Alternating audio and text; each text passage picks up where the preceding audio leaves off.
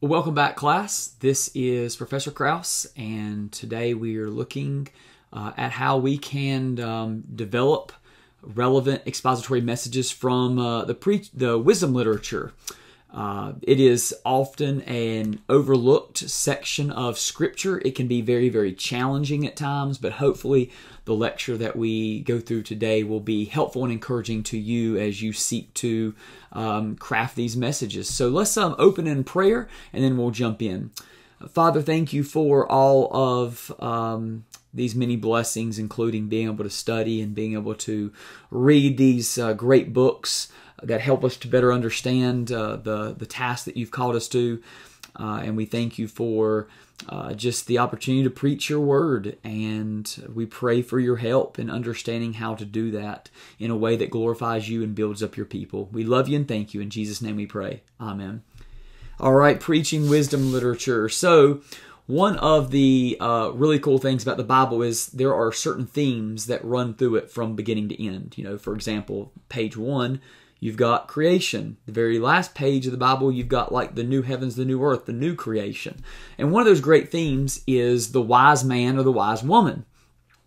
The authors give examples of what it means to be wise versus what it means to be a fool. Uh, and on top of that, Scripture also gives us instructions about how we can uh, throw off the foolish man and to be wise. Um, so, not only is wisdom an important theme, um, it's actually a very specific type of literature. Some of the the books that we find in God's Word focus, you know, primarily on being wise in the world that we are living in, and so even though it's often overlooked as a genre in Scripture, it is one of the most practical uh, places in Scripture that we find because you know it it kind of touches on all the ins and outs of living in God's creation. And the truth is, um, wisdom literature really does connect to every single aspect of our lives in ways that other um, uh, genres of scripture don't do as specifically. So, you know, the Bible um, applies wisdom. Uh, in these in in the wisdom literature to the way we spend our money, health, godliness, relationships, speech, uh, pleasure, um, uh, trials, suffering, and, and that covers so much of our, our lives. And so the wisdom literature is a great place to preach from because you're going to have people who immediately find those takeaways that they can apply to their life. So, um, you know, right off the bat in in Psalm chapter one, uh, you know, it's really it's often seen as you know like the prologue to the rest of the Psalms because it talks us about talks about the ways of the wicked versus the ways of the wise or the blessed man. Blessed is the man who walks not in the counsel of the wicked, nor stands in the way of sinners, nor sits in the seat of scoffers. But his delight is in the law of the Lord, on, and on his law he meditates day and night. He's like a tree planted by streams of water that yields its fruit in its season and its leaf does not wither, and all that he does he prospers. The wicked are not so, but are like chaff that the wind uh, drives away. Therefore, the wicked will not stand in the judgment, nor sinners in the congregation of the righteous. For the Lord knows the way of the righteous, but the way of the wicked will perish. You know, if this is your text that you are beginning to study um, and to interpret, you're looking for ways to explain the main truths and illustrate some of these ideas um, and apply it. Um, I mean, it, it's it's all there, right there for you.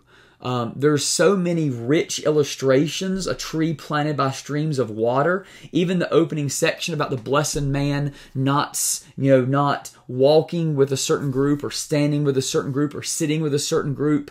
It is such a, a rich place to preach from. Uh, it, it touches on how to avoid sin, um, the importance of God's word in our life what it means to be well watered or connected to God's word yields this in our life, how we avoid judgment. I mean, this is the picture of the wise or the blessed man versus the foolish um, in, in wisdom literature. Um, but wisdom literature is more than just you know these rules that we find that we need to follow in order to be wise because wisdom literature functions primarily as observations and guidelines for living in God's world. So, understanding that wisdom, what lit- wisdom literature is and is not, turns out to be the key to be able to develop sermons from it and to preach them. Because if we see wisdom literature as promises from God, then we are going to, um, you know, preach it in such a way that this genre in and of itself doesn't justify. Um, you know, for example, you've got, you know, Proverbs 22 6. It's, uh, you know, a well known proverb. Um, and it says, train up a child in the way he should go, and even when he's old, he will not depart from it. And we know good and well that there are godly families who have raised their family, their children in godly homes, and they've raised them up in the Lord, and yet when they got to later on in life, they went away from the Lord. So to preach that as a promise, you have people want to scratch their head like, well, wait a second, God's word lies. But if you preach it as a proverb, um, not as a rule, but more of as an observation about how the wise family raises their children, the wise child continues in the ways of the Lord, then all of a sudden you are you're making some headway. You're going to be able to preach some really good, um, relevant, uh, godly sermons from these passages. So we need to make sure that we are not just preaching it as a bunch of you know wise sayings. You know you can take this or leave it but more to say, you know, this is what God wants for us. If we want freedom in Christ, if we want righteousness, if we want blessing in life, um, then this is the way that we need to live our lives. Um, you know, interpreting wisdom literature um, some include like the Psalms, but we've already covered the Psalms in the poetry. So we're going to think of it more of like Proverbs, Song of Solomon, Job, and Ecclesiastes as the, the centerpiece of what we're talking about today. And, and throughout this wisdom literature, you're going to find different types of genres within this genre. You're going to find, you know, Proverbs, you're going to find riddles, you're going to find instructions and even some narrative. They all function within the overall picture of wisdom literature. But understanding the overarching direction of wisdom literature helps us when we come to proverbs or riddles or instructions or law or narrative. You know, uh, we've already talked about, you know, what is a proverb, a catchy, concise couplet that clearly captures a crucial concept, and that's that's alliteration, some of the best I've ever seen. Um, and the cool thing is, all cultures have different proverbs, but the proverbs in the Bible are what help us to see what a godly life looks like. Um, you know, the marks of proverbs uh, they're authoritative, so they're not just suggestions, but they're telling us how we should live um, as as God's ki- as God's children.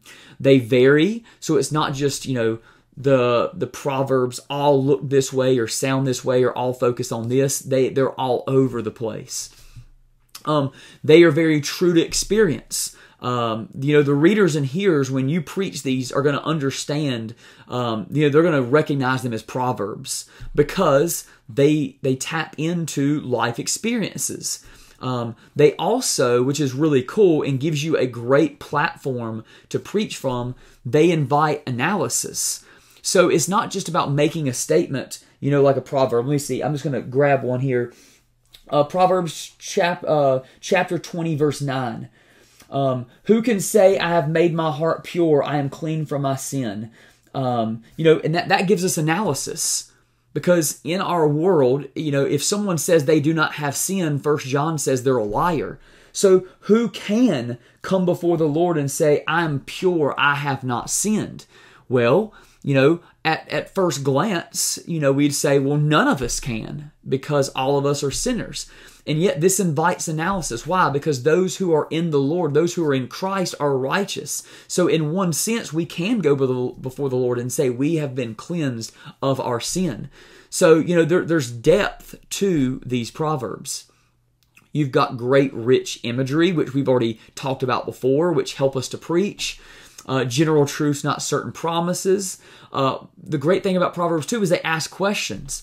So the person who is there seeking after truth, seeking after direction in their life, the Proverbs are going to give them some interesting questions that they need to ask of themselves. Um, it's going to help them to dig deep into their life and the way they are living. Um, They also help us to preach a high view of God because one of the main defining marks of wisdom literature is the fear of the Lord. It is reverence to God as our, our sovereign ruler over all creation, so that, hey, God is watching our lives and our lives matter. Therefore, we should live in the fear of the Lord because it's the beginning of wisdom. Uh, it helps us to talk through life. Uh, as we've already said, uh, it touches on all aspects of life the the ups, the downs, the mistakes, the successes. Uh, it it talks about grace. Uh, and so all of this is under that umbrella of wisdom literature. Now, one of the challenges of preaching Proverbs or Ecclesiastes or a, a Song of Solomon is finding your structure. It really pays off at the very beginning of preaching through wisdom literature to understand the structure of a passage.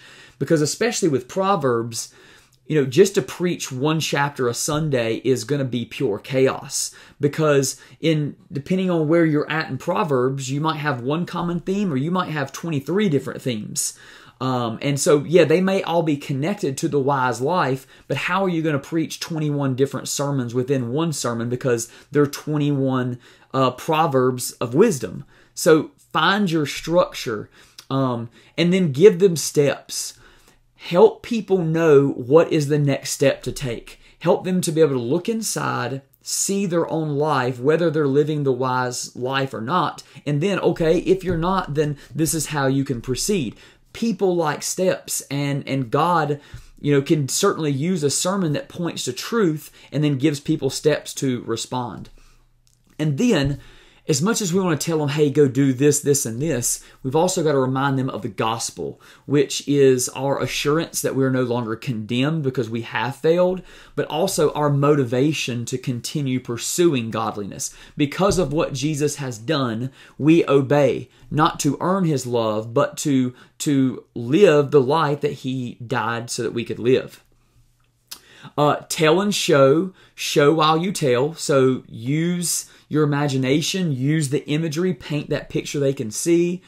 Um, back up story, stories, illustrate your proverbs. You know, it's going to give you examples from people who are cheats uh, people who are adulterers, people who um, do not raise their kids the right way. There's all these practical life stories. Back them up with real stories so that people can actually picture what you're talking about. And that's not just Proverbs.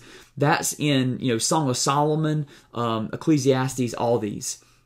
Um, and and the captive to Christ is is important uh, because the wisdom literature helps us to see how to live a wise life. But um, we've got to remember that a, a huge battle um, for living why, uh, the, the a life of wisdom is taking every thought captive to Christ. So talk about what it means to live a life and to take every thought, take every action captive to Christ. Christ is Lord, therefore this is how I am. This is why I'm going to live this way. This is you know like the Song of Solomon and the way it uh, puts forth this this love. That's how that's that's how I want to live because of what Christ has done. Or Job, this is how I'm going to respond to suffering because of what Christ has done, and and that applies to all of wisdom literature. Um, you know, we live in a world that just bombards us left and right with different messages uh, and advice on living. So, you know, let's say you're preaching through Ecclesiastes. Ecclesiastes, you know, helps us to see that there's nothing here on earth that's going to satisfy us apart from our relationship with God. If you got all the money in the world, all the wisdom, all the the relationships, all the pleasure, outside of God it's all meaningless. And yet our world is literally telling us that these are the things you should pursue. Pursue the American dream so that you can finally arrive and be important and actually matter. But the wisdom literature shows us that's not the way it's to be. The blessed life is not the American dream. Uh, the blessed life is living in right relationship with God and His creation. Therefore, as the world is bombarding us with these messages and how we should live, the wisdom literature is helping us to see that's it's all false.